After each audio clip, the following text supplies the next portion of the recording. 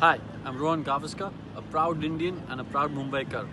Over the last few years, I've noticed that the noise pollution in our beloved city has gone through the roof. Now let's stop bickering with our loved ones, with our family members, with our friends. That'll get the noise pollution down by a bit.